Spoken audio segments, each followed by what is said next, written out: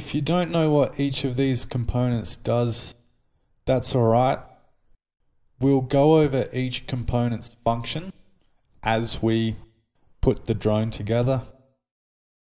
To start off, we'll go over all of the components that are used to put together the drone. Each one of these components has a job to perform. We'll go over these separate subcomponents when we start to build. To start off, here we have our LiPo battery. Also, you've got the drone carbon fiber arms as well as the frame. Here's your electronic speed controller, which is used to control the motor. Here's the motor itself, including the prop adapter and all of the bolts. Here's your flight controller. We've got the Naze 32 flight controller, including the standoffs. As you can see here, this one's pre-soldered. Depending on not, you'll have to solder the pins in yourself. This is your transmitter and your receiver. Your FPV video camera. All the nuts and bolts to put the frame together.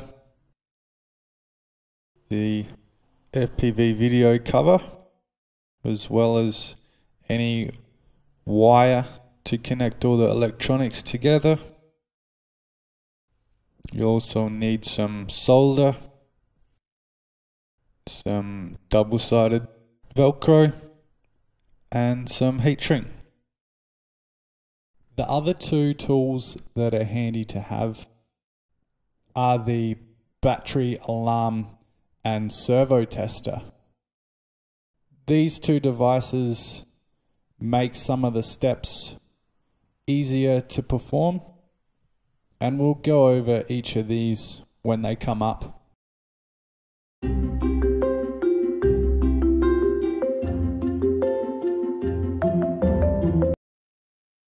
When building a drone, it's important to have a nice, clean and safe workplace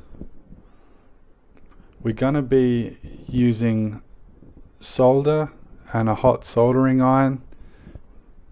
Um, shouldn't have to worry about it if anything gets burnt or you drop solder onto it.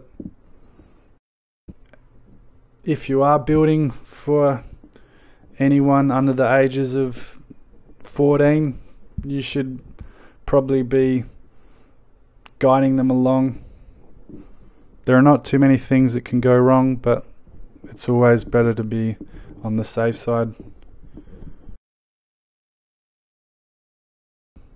Also, we're going to be using LiPo batteries. There is some risk involved with using LiPos. They can puff up and burst into flames if they're not used correctly.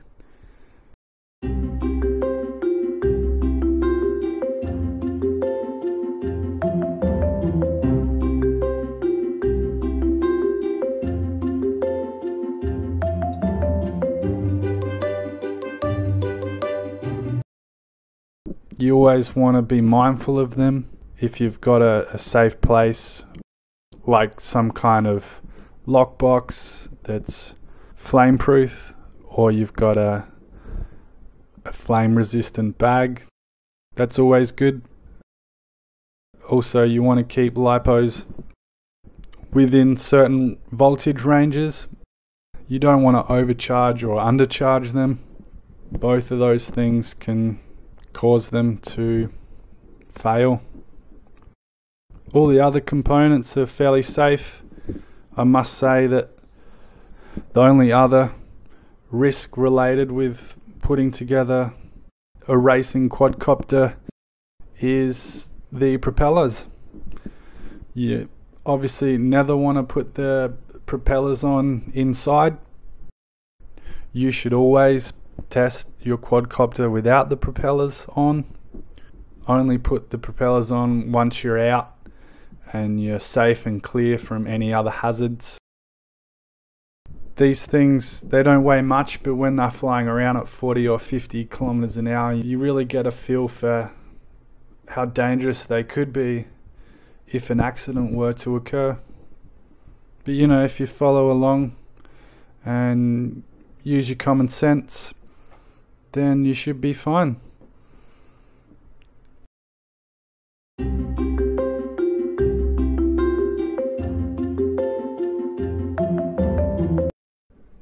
As we're only dealing with 12 to 14 volts of electricity, there's no real risk. But having said that, you want to make sure that there's no exposed wires. Also, make sure you've got a nice clean battery connection.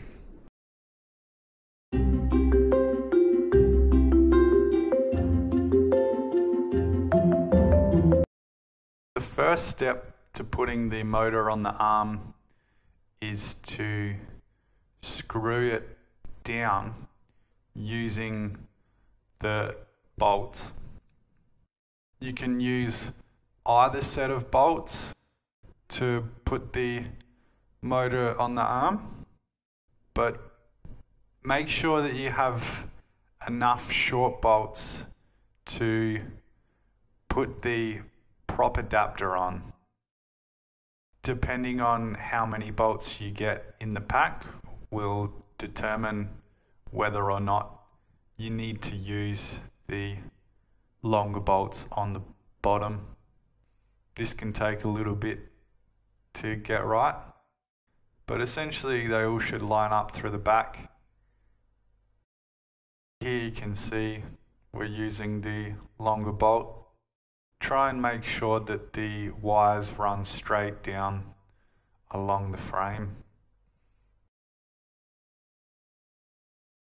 So the next step is to prep the wires for the motor, which includes cutting and also tinning for soldering. In order to cut and tin the wires, all you got to do is snip them about one centimeter along or even a bit less. Then stripping the wire all you want to do is move a couple mil in from the end, apply light pressure on the outside, cut in a little bit, and try and pull the end of the wire cover off without snipping all the way through. Also, we want to put on the prop adapter using the short bolts we're going to need some thread lock. You can put thread lock on everything if you want to. It's used to hold bolts in place under vibration, which you'll get a lot in the drone. This is the main point that you should be using the thread lock.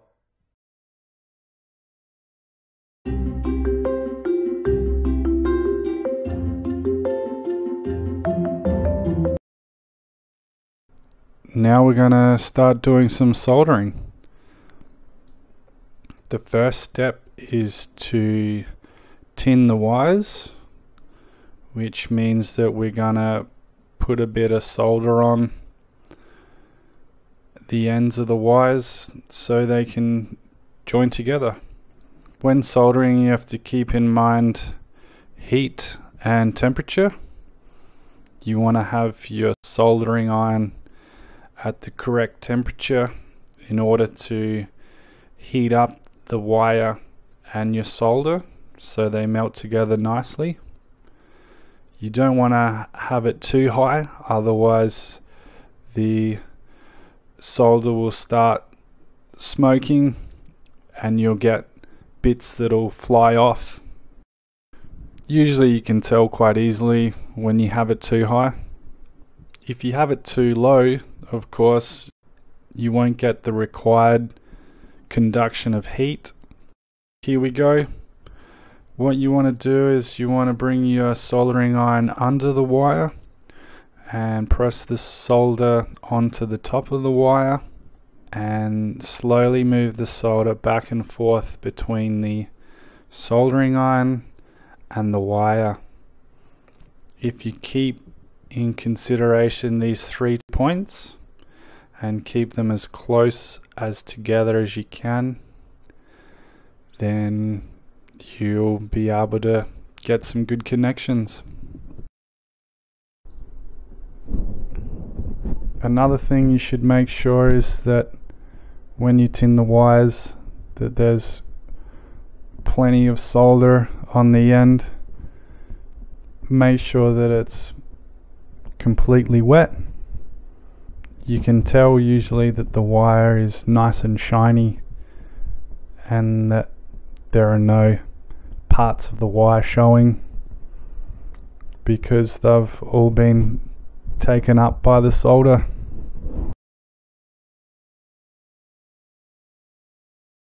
So the next step is to put some heat shrink onto the wire.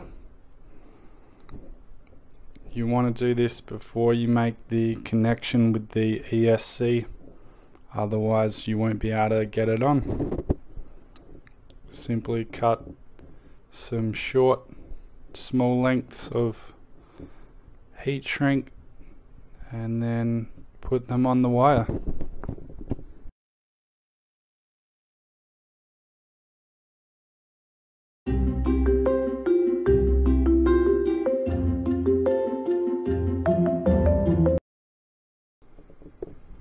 So now we're going to get the ESC all ready and connected to the motor.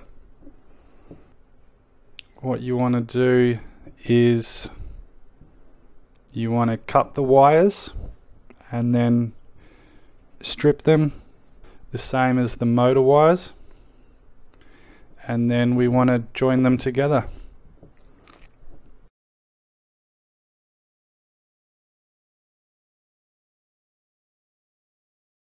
On the other end of the ESC, you also want to cut the wires.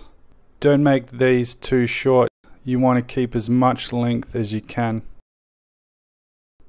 Hopefully you haven't forgotten the process of tinning the wires because here we're going to have to do that again.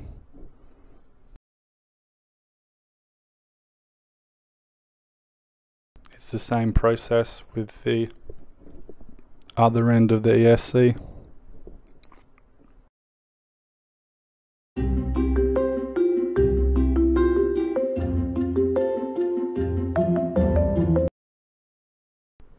We have four arms in total. So we'll have two arms spinning clockwise and two arms spinning anti-clockwise.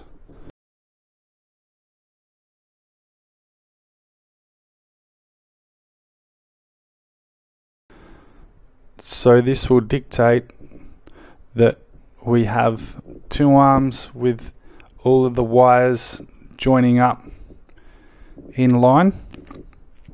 And then we have two arms with the wires. The red and the yellow wire will be crossed. This is so they spin the opposite way to the other arms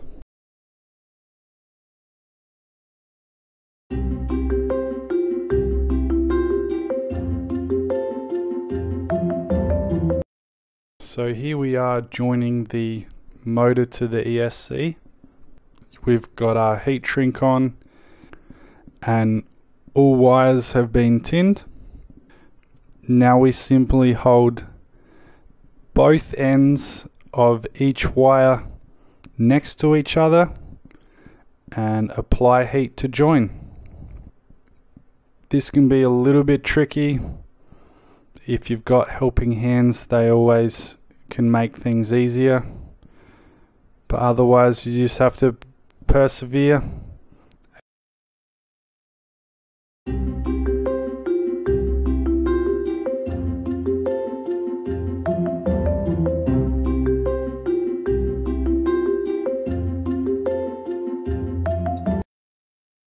Once all wires have been connected simply pull down the heat shrink and then apply a little bit of heat.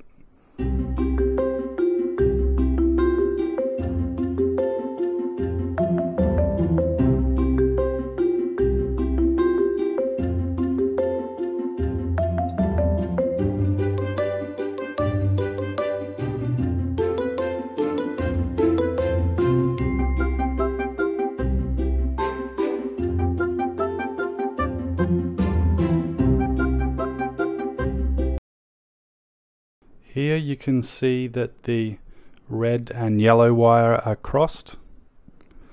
Make sure when you're putting the wires together that on two of the arms you have the yellow wire and the red wire crossed.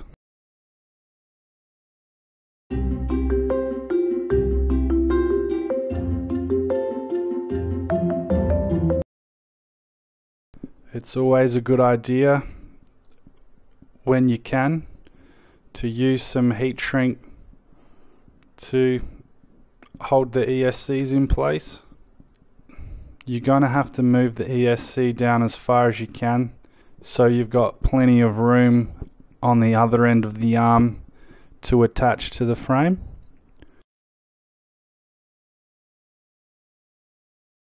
What I do is I push the ESC down as far as I can until it's nice and square on the frame and then heat the heat shrink to keep it in place.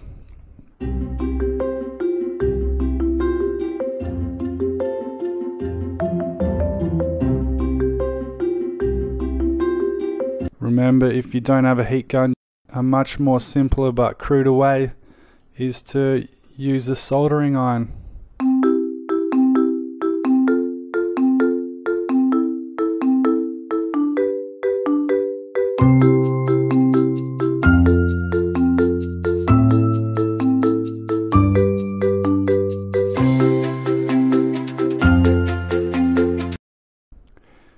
You don't have any heat shrink, you can always use cable ties. They work just as well.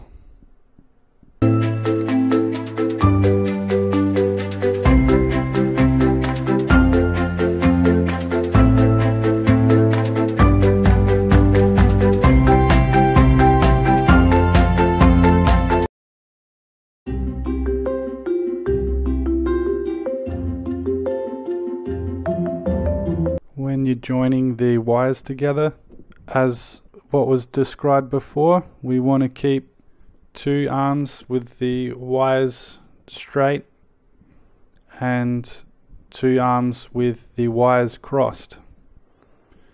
You need to cross any two of the wires. It doesn't matter which kind but just make sure that the wires are crossed on two of the arms so they spin in the opposite direction